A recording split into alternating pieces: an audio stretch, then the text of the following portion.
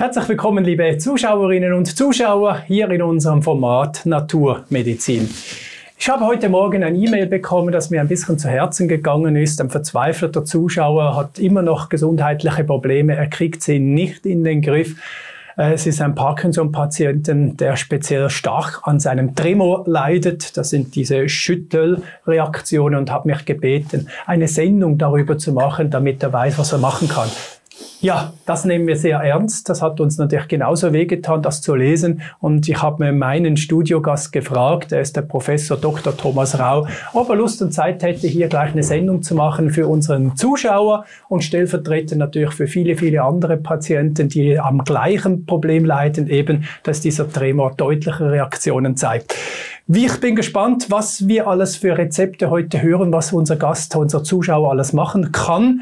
Und äh, ich bitte Sie einfach dran zu bleiben. Wir legen sofort los. Und da sind wir wieder und jetzt darf ich Ihnen meinen Experte zeigen, Professor Dr. Thomas Rau. Ganz herzlichen Dank, dass du da bist und danke, dass du dir die Zeit nimmst, dieses Thema anzugehen. Der Zuschauer hat einige Sendungen schon gesehen und hat sich einiges rausgepickt, was er geschrieben hat. Er hat geschrieben, er hätte versucht, MCT-Öl zu nehmen wegen äh, den Stoffwechsel in die Fettverbrennung zu bringen, aber ich weiß nicht, wie die Ernährung ist. Ja? Und er hat noch angefangen mit Galaktose, weil das sehr schnell ins Hirn geht und Energie produziert, das anscheinend eben auch eine Wirkung haben könnte. Ja, und jetzt bin ich gespannt, du als Experte, was können wir ihm alles noch auf den Weg geben? Oder muss er damit leben? Dreimal die Schüttelkrankheit ist ein sehr, sehr großes Problem. Ich war ja nicht so begeistert, als du mir dieses Thema sagtest, weil erstens bin ich heute nicht vorbereitet, spielt aber keine Rolle, weil ich kann sehr viel darüber sprechen. Zweitens, weil es eben ein sehr schwieriges gibt nicht einfach die Lösung, das gibt's nicht. Tremor kann eine Sorte, und das muss der Zuschauer auch wissen, nur eine Sorte ist die Parkinson'sche Krankheit. Ach so. Das ist der Tremor. Aber es gibt eben, und das ist das Wichtige und das Hoffnungsvolle am Ganzen, es gibt ganz viele andere Tremorkrankheiten, die nicht Parkinson sind. Weil Parkinson ist sehr schwierig und da muss man auch chemische Medikamente einnehmen, längerfristig. Wir aber haben Möglichkeiten, die Tremor-Symptomatik zu diagnostizieren und auch in ihrer Wirkung Ursachenabklärung zu machen. Und dann finden wir halt eben sehr unterschiedliche Ursachen. Wenn der Patient jetzt sagt, ja, hat das MCT-Öl genommen oder hat das oder jenes genommen und Galaktose, das ist alles gut und recht. So darf man aber nicht vorgehen. Ich erlebe das ständig, weil wir kriegen solche neurologischen Patienten sehr viele bei uns und wir haben auch gute Lösungen für sie.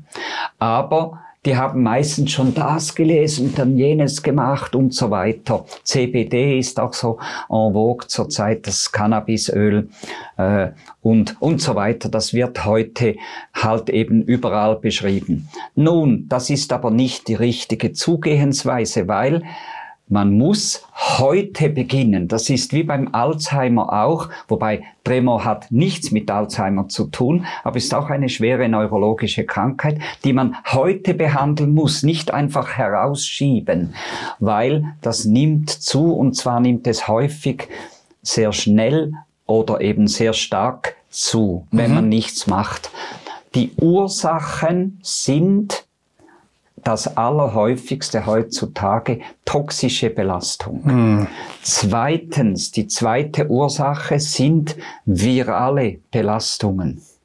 Drum, das haben Sie sicher gehört, obwohl halt die Presse heute ja nicht Negatives über Covid schreibt, außer Angstmacherei, aber in dieser Corona-Zeit haben die neurologischen Krankheiten und auch die Tremorkrankheiten massivstens zugenommen an Häufigkeit und jüngere Menschen haben es gekriegt. Warum? Weil virale nämlich Viren. Das muss nicht nur Corona sein, nein, das können auch andere Neuroviren, wie zum Beispiel Varizellenviren, wie Epstein-Barr, zwar weniger, Zytomegalie, Toxoplasmose. Diese Art der Viren können auch unterschwellig wirken und dann addiert sich die die addieren sich die Ursachen zueinander.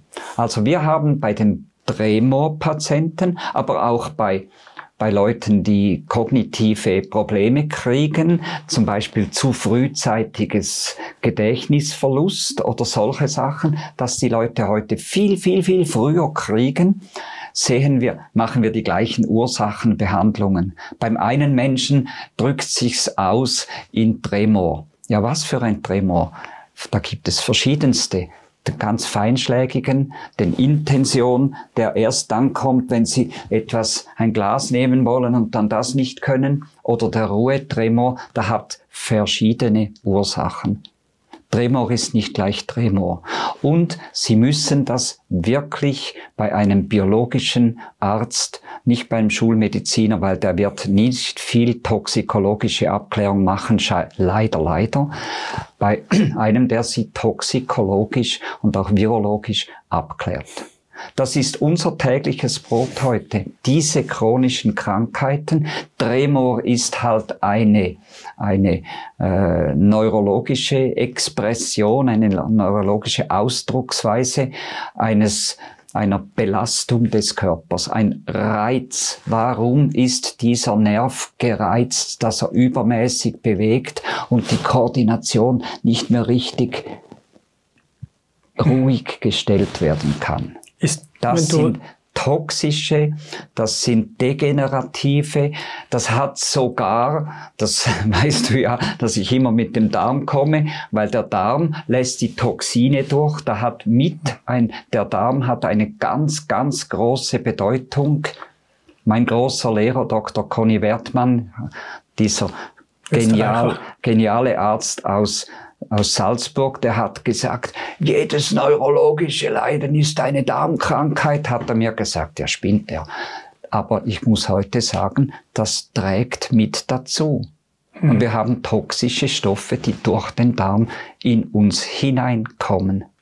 Aber es gibt auch die anderen Ursachen, nämlich die, dass schützende Substanzen, welche den Nerv stabilisieren, so dass er nicht beginnt, wegen nichts zu zittern, dass diese Substanzen fehlen. Dann haben wir einen Mangel an gewissen Stoffen. Und das sehen wir heute sehr häufig.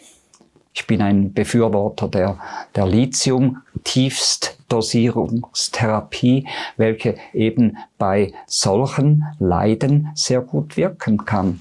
Ich habe sehr gute Erfahrungen damit gemacht. Lithium-Aspartat, 10 Milligramm, eine absolute Witzdosis, aber dieses Spurenelement kann dann nervenstabilisierend wirken. Wenn wir von neurologischen Erkrankungen sprechen, heißt das, es ist immer das Hirn, also Nein. die Nerven zum Arm. Äh, aber wo ist jetzt die Entzündungsprozess oder das Problem? Ist das im Arm oder im Hirn? Oder kann beides sein, oder? Beim klassischen, früher hat man immer Tremor gleich Parkinson, aber das stimmt heute nicht mehr. Der größere Teil der Tremor-Patienten sind nicht Parkinson, das sind toxische Patienten.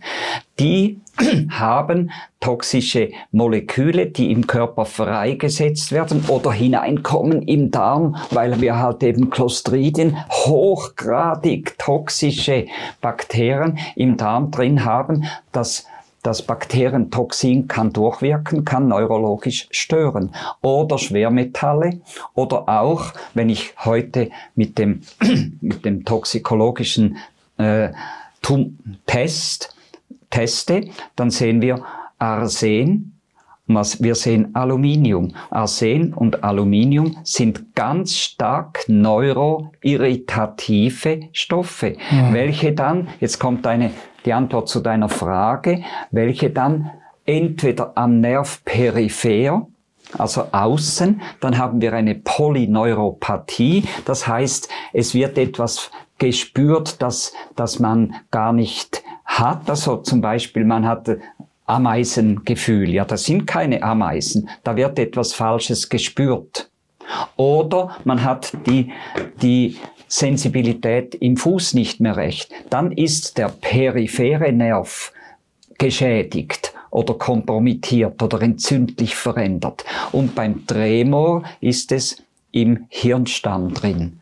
Der klassische Parkinson hat in den Basalganglien eine Degeneration und kann zu wenig Dopamin produzieren. Drum wird diesen Menschen das ist total wirksam. Wird Dopamin gegeben und dann hört der Tremor auf. Dort habe ich schon gesehen mit NADH ja. dass es dann auch wirkt, aber nur in diesem Fall. Hä? Ja, nur in diesem Fall kann auch NADH, welches so wie eine Vorstufe im Stoffwechsel des Dopamins ist, kann dann eben wirken. Mhm. NADH, blöd ist nur, dass diese Tabletten nur einige Stunden wirken mhm. oder nicht einmal einige Stunden. Mhm. Da muss man ständig einnehmen. Das ist keine ursächliche Therapie. Ja, ja. Mhm. Genau gleich wie das Madopar, das ist ein fantastisches Mittel, das Dopamin für Parkinson-Patienten, weil sie wirklich deutlich, deutlich besser werden. Aber das ist keine ursächliche Behandlung. Im Gegenteil, es wird ständig schlechter. Und die Dosis muss im Allgemeinen gesteigert werden. Was passiert, wir versuchen, die Ursachen zu finden. Und sogar bei diesen Patienten, wo wir eben also wenn jetzt einer halt wirklich einen toxischen oder einen Parkinson-Schüttelkrankheit äh, hat, sogar dann können wir mit unseren Methoden stabilisierend wirken, weil die Nerven brauchen Alpha-Liponsäure dieses Öl brauchen Omega-3-Fettsäuren mm. in recht großer Menge. Sie brauchen eine sozusagen Versiegelung des Darmes mhm. und sie brauchen Polyphenole, mhm. also aus Gemüsen und Nüssen extrahierte Stoffe, welche nervenstabilisierend sein können. Man kann so viel machen, aber nicht einfach nur eine Substanz, CBD-Öl oder weiß ich was, Galaktose. Weißt du? Ich weiß, mein lieber Freund, der Dr. Mosetter ist der Propagand der, der Galaktose, ist ein fantastischer Stoff, aber das genügt alleine nicht. Mhm. In äh, eingebettet in ein ganzes Konzept verwenden wir natürlich auch Galaktose, mhm. aber eingebettet Klar. in ein ganzes Natürlich, das sagt auch Konzept. der Kurt Moser, ja, selbstverständlich. Aber der Kunde, der Zuschauer hat jetzt einfach mir das so geschrieben mhm. und ich habe jetzt Weißt du, genau das macht mir so Spaß. Wir haben so einzelne Sachen und du bringst es zusammen in ein ganzes Konzept.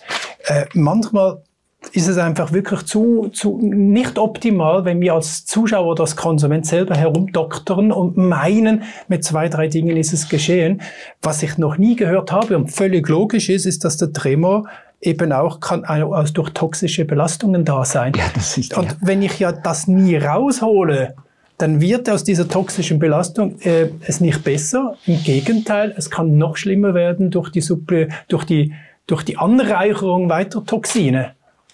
Darum wird ja die Krankheit schlechter, dieser ja. Degenerations- und hm. Entzündungsprozess, weil die Ursachen nicht behandelt werden. Hm. Und das was ist, wenn er so eine toxikologische Tremor hat und der wird jetzt auf Parkinson behandelt? Gibt's das? Oder was macht die Schulmedizin, wenn jetzt der sein Tremor hat, der aus nicht Parkinson ähm, zusammenhängend wäre? Was wir beide ja jetzt nicht wissen. Das macht nichts. Auch wenn er noch eine, eine Behandlung kriegen würde, dann macht das nichts. Ich habe aber Fälle, leider, leider, welche als Parkinson behandelt wurden. Und es war dann eine andere multifokale äh, degenerative Belastung. Und es wurde einfach immer die, die, die Dopamin-Medikamente wurde einfach immer gesteigert in der Dosierung und dann kamen die Nebenwirkungen. Mhm. Ja, auch neurologische Nebenwirkungen und schwere Depressivität. Also diese Mittel haben eben auch Nebenwirkungen. Auf jeden Fall, ob nun diese oder jene Tremorart besteht, der Patient muss unbedingt eine ganzheitliche toxikologische, bakteriologisch-intestinale Abklärung kriegen, auch eine Abklärung, ob nicht Störherde sonst wo existieren, wie zum Beispiel Zahnbeherdungen. Das könnte auch Wieder ein riesiges Thema. Ja, natürlich. Mhm. Auch ein Tremor auslösen. Ja, die, ah, wegen die Stammganglien sind ganz nahe den Zähnen sind nur einige Zentimeter von den Weisheitszähnen entfernt, nur so als hm. ein Beispiel. Und wenn da Belastungen, zum Beispiel ganz, ganz schlimm Amalgamfüllungen, können, äh, Amalgamfüllungen vor allem an den hinteren Zähnen, können neurologische Probleme machen. Das sehe ich ständig. Drum, jeder Patient, der zu mir kommt, wird auch zahnmedizinisch abgeklärt.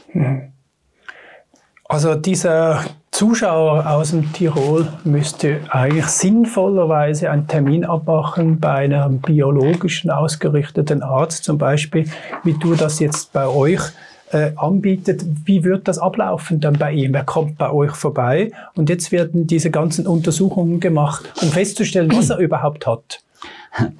Wir sind in der glücklichen Lage, dass wir sehr viele Anmeldungen haben, weil nur ganz wenige Kliniken können das Gleiche bieten wie wir an der Sonnenberg Klinik in Schwelbrunn in der Schweiz.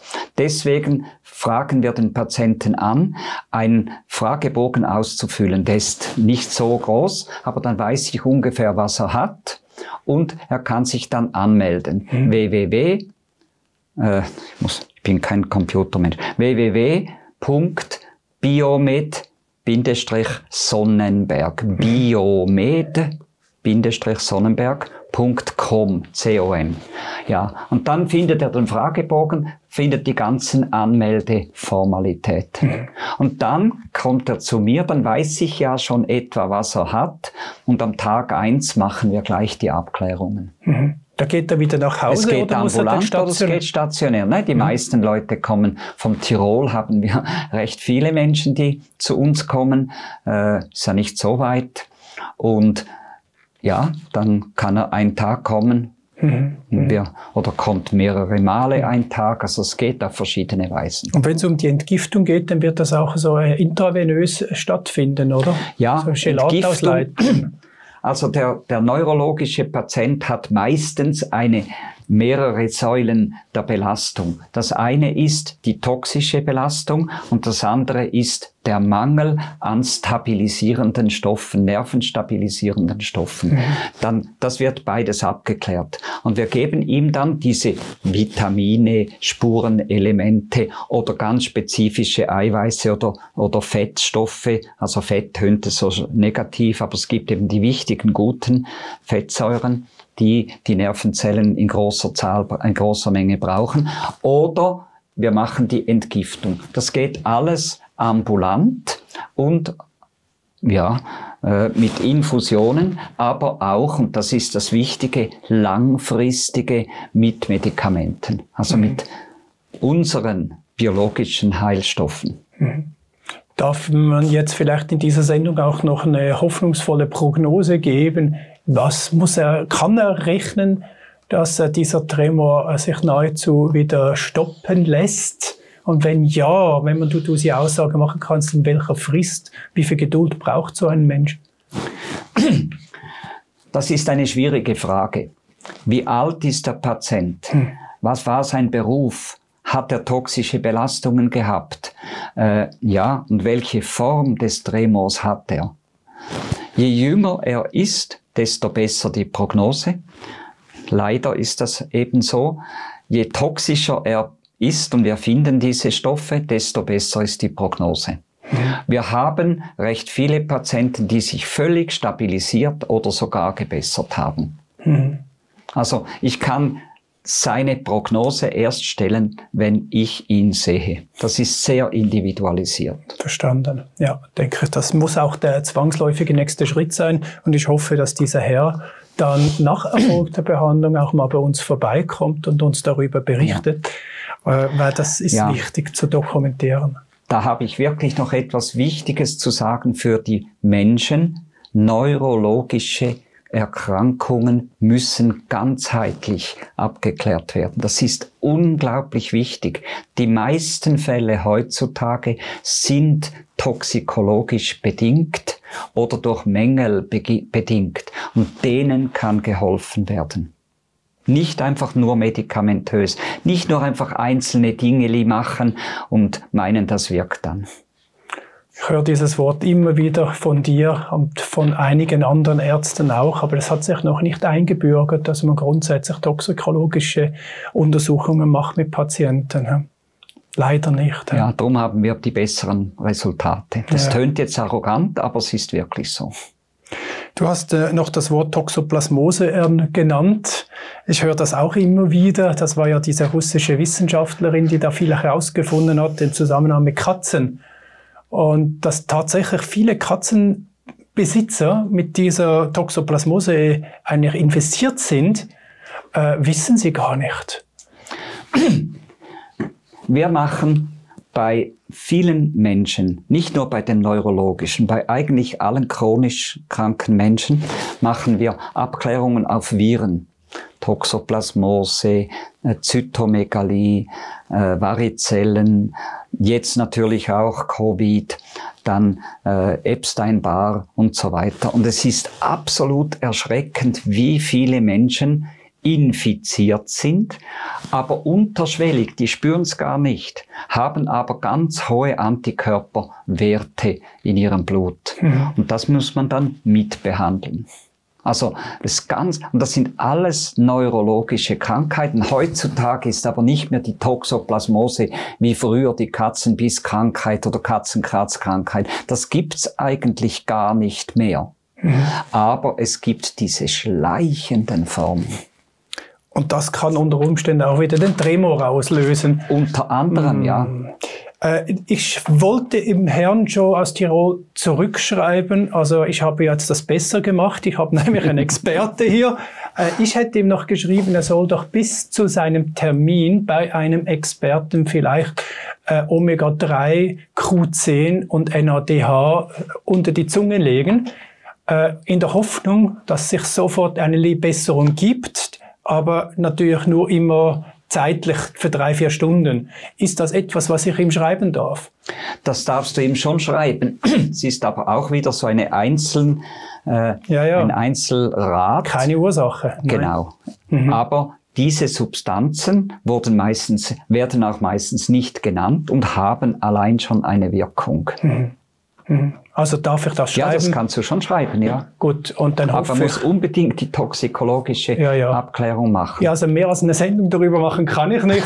Lieber Herr aus Tirol, ich hoffe, wir haben Ihnen ganz, ganz viel Freude machen dürfen. Sie haben darum gebeten, dass ich Ihnen eine Expertin nennen möge. Ich habe das anders gemacht, wir haben das Thema gleich besprochen und jetzt liegt es natürlich an Ihnen, den nächsten Schritt zu gehen. Und für alle die Zuschauerinnen und Zuschauer, die ebenfalls Menschen kennen, die einen Tremor haben, denen sei heute einfach mit Gewissheit auch gesagt, es gibt verschiedene Ursachen hinter dem Tremor und bei weitem nicht einfach nur Parkinson, sondern sehr oft eben toxo, äh, toxische Belastungen, Stoffen, die sich einfach in unserem Körper über Jahrzehnte hinweg anreichern mit unfassbar vielen Wirkungen. Und das ist unschön und ich habe viel gelernt, das darf ich jetzt auch gleich sagen, bin ganz stolz darüber, wieder mal was zu lernen. Und ich bedanke mich ganz herzlich, lieber Professor Dr. Thomas Rau, war das für Sie, liebe Zuschauerinnen und Zuschauer. Und ich wünsche Ihnen alles Gute, bis ein anderes Mal und auf Wiedersehen miteinander.